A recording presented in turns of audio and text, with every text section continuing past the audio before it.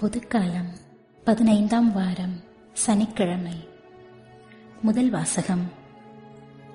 இறைவாக்கினர் மீகா நூலிலிருந்து வாசகம். அதிகாரம் இரண்டு இறைத்திரு வசனங்கள் ஒன்று முதல் ஐந்து வரை. தங்கள் படுக்கைகளின் மேல் சாய்ந்து தீச்செயல் புரிய திட்டமிட்டு கொடுமை செய்ய முயல்பவர்களுக்கு ஐயோ கேடு. பொழுது புலர்ந்தவுடன் தங்கள் கை வலிமையினால் அவர்கள் அதை செய்து முடிக்கின்றார்கள். வயல்வெளிகள் மீது ஆசை கொண்டு அவற்றை பறித்துக் கொள்கின்றார்கள். வீடுகள் மேல் இச்சை கொண்டு அவற்றை கைப்பற்றிக் கொள்கின்றார்கள்.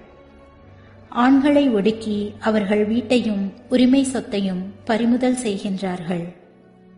ஆதலால் ஆண்டவர் கூறுவது இதுவே.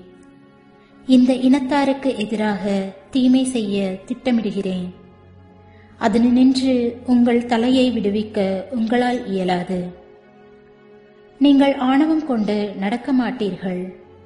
ஏனெனில் காலம் தீயதாயிருக்கும்.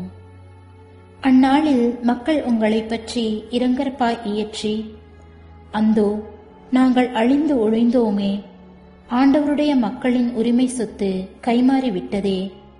நம்முடைய நிலங்களை பிடுங்கி கொள்ளைக்காரர்களுக்கு பகிர்ந்தளிக்கின்றாரே. என்று ஒப்பாரி வைத்து புலம்புவார்கள். ஆதலால் நூல் பிடித்து பாகம் பிரித்து உங்களுக்கு தருபவன் எவனும் ஆண்டவரின் சபையில் இரான்.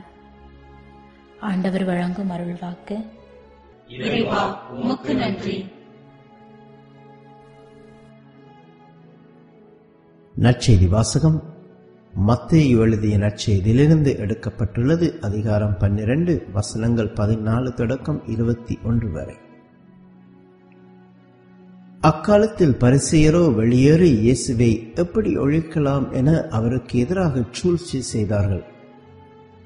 இயேசு அதை அறிந்து அங்கிருந்து புறப்பட்டுச் சென்றார். பலர் அவருக்கு பின் சென்றனர். அவர்கள் எல்லோரையும் அவர் குணமாக்கினார். தம்மை குறித்து வெளிப்படையாக பேச வேண்டாம் என அவர்களிடம் அவர் கண்டிப்பாய் சொன்னார். இறைவாக்கினராகிய எசாயா உரைத்த பின்வரும் வாக்குகள் இவ்வாறு நிறைவேறின. இதோ என் ஊழியர் இவர் நான் தேர்ந்து கொண்டவர் இவரே என் அன்பர் இவரால் என் நெஞ்சம் பூரிப்படைகின்றது இவருள் என் ஆவி தங்கும்படி செய்தேன் இவர் மக்களினங்களுக்கு நீதியை அறிவிப்பார்.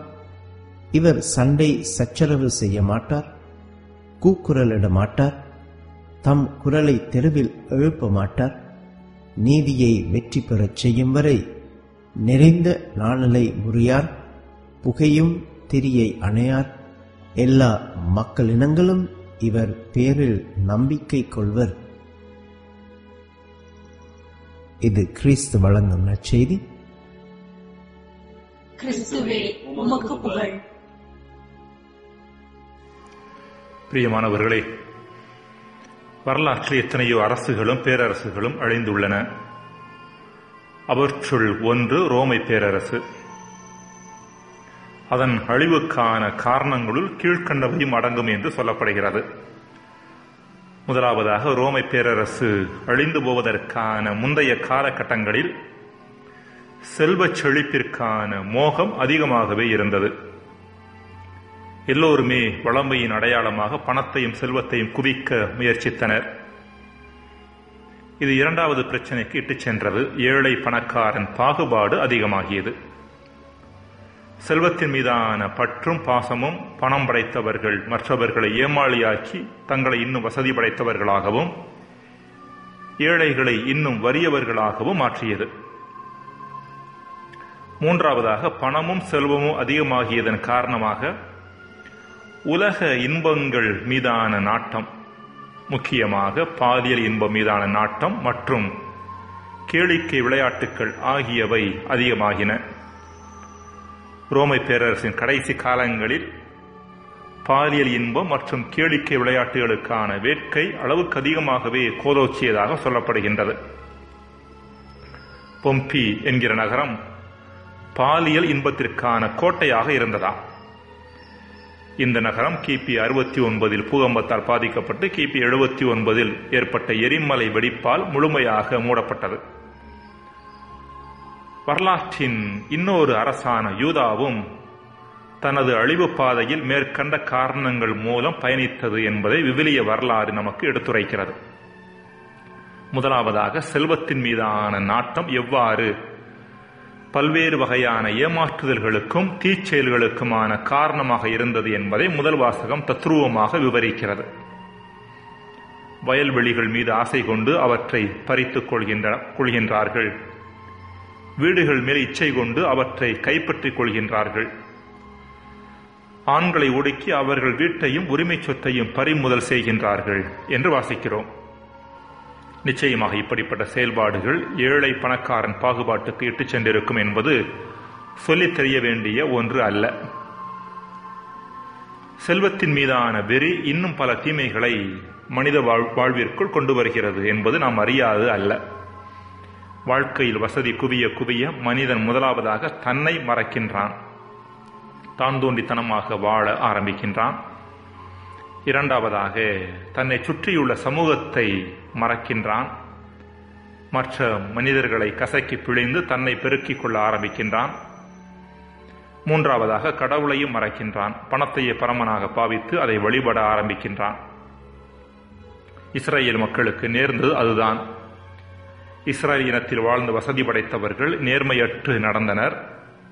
தங்களை சுற்றி வாழ்ந்த ஏழை எளியவர்களை நசுக்கி அவர்களின் உடைமைகளையும் நிலபுலங்களையும் பறித்துக் கொண்டனர். இவ்வாறு தங்களை மறந்து தங்களை சுற்றியுள்ளவர்களை மறந்து தங்களை படைத்தவரையும் மறந்து தீச்செயல் புரிந்தனர். அடுத்ததாக யூதாவில் பாலியல் மற்றும் கேளிக்கைகளுக்கான வேட்கையும் அதிகமாக இருந்ததை நம்மால் பார்க்க முடிகிறது. இறைவாக்கினர்கள் கண்டிக்கும் புறதெய்வ வழிபாடுகள் இந்த பின்னணியில் தான் பார்க்கப்பட வேண்டும். வடநாடான இஸ்ரேலும் தென்னாடான யூதாவும் தங்களை சுற்றி இருந்த பிற இனத்தவர்களின் வழிபாட்டு முறைகளால் ஈர்க்கப்பட்டதற்கான ஒரு முக்கியமான காரணம் அவர்களது வழிபாட்டு முறையில் ஓர் அங்கமாக இருந்த பாலுணர்வு செயல்பாடுகளே. எசேக்கியேல் இருபத்தி மூன்றாம் பிரிவில் வடநாடு மற்றும் தென்னாடு ஆகியவற்றின் பிற நாடுகளுடனான உறவு பாலியல் இன்பத்திற்கான வேட்கையின் பின்னணியில் சித்தரிக்கப்படுவது குறிப்பிடத்தக்கது. ஆக இவ்வாறு இஸ்ரேல் மக்கள் பிரதெய்வ வழிபாட்டால் ஈர்க்கப்பட்டது. அங்குள்ள பாலியல் இன்பத்தால் அவர்கள் தூண்டப்பட்டது. இவர்கள் நடுவில் ஒழுக்க பிறழ்வை கொண்டு வந்தது. குடும்ப வாழ்வை சிதைத்தது. கட்டுக்கோப்பாக வாழ்ந்த சமூகம் உருக்குலைய காரணமாயிற்று. ஆமோஸ் இரண்டு ஏழு எசேக்கியேல் இருபத்தி ரெண்டு பதினொன்று ஆகிய பகுதிகளை பார்க்கலாம். ஆக இதன் காரணமாகவே இறைவாக்கினர்கள் பிரதெய்வ வழிபாட்டை கண்டித்தனர். அன்பிற்குரியவர்களே நமது தனிப்பட்ட வாழ்விலும் கூட அதீத பொருளாசை முறையற்ற பாலுறவு மற்றும் வரைமுறையற்ற கேளிக்கைகள் ஆகியன இருந்தன என்றால் நாம் அழிவின் பாதையில் இருக்கிறோம் என்பதை உணர்ந்து கொள்ள அழைக்கப்படுகின்றோம். நிச்சயமாக நாம் வாழக்கூடிய இன்றைய உலகம் மேற்கண்ட மூன்றையும் கொண்டாடுகிறது என்பது உண்மைதான். இருப்பினும் கிறிஸ்தவர்களாகிய நமது அழைப்பு அவை வாழ்விற்கான வழிகள் அல்ல என்பதை நாமும் உணர்ந்து அதை பிறருக்கும் எடுத்துரைப்பதாகும். ஜெபம். இறைவா அழிவின் பாதை எவ்வளவுதான் ஈர்க்கக்கூடியதாக இருந்தாலும் அதிலிருந்து எங்களை காத்துக்கொள்ள வரம்தாரும் ஆமேன்.